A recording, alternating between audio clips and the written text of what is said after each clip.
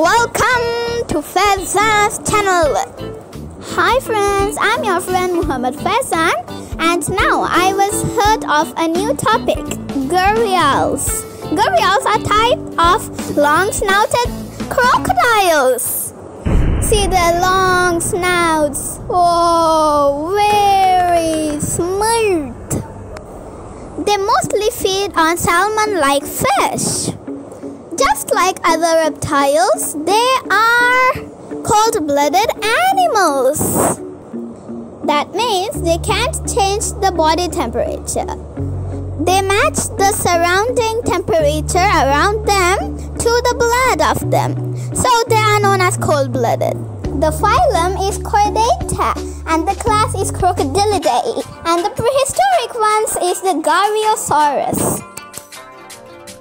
Ah, I know what you are thinking about these giant crocodilians. I know, I know. It's long snout.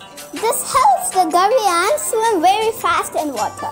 It cuts the water and help it go fast. It's very streamlined.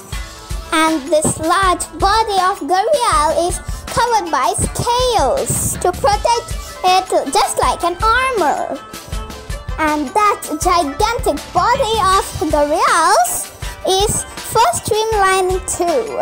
And see its snout and the snout, the mouth of uh, a gharial is designed like a zipper to trap the fish inside its mouth and no way, snap it out.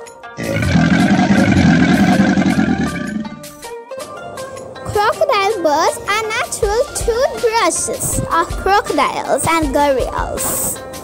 When the gorilla opens its mouth, the crocodile bird cleans its mouth by eating the flesh stuck in the gorilla's teeth. The crocs never ever eat the bird.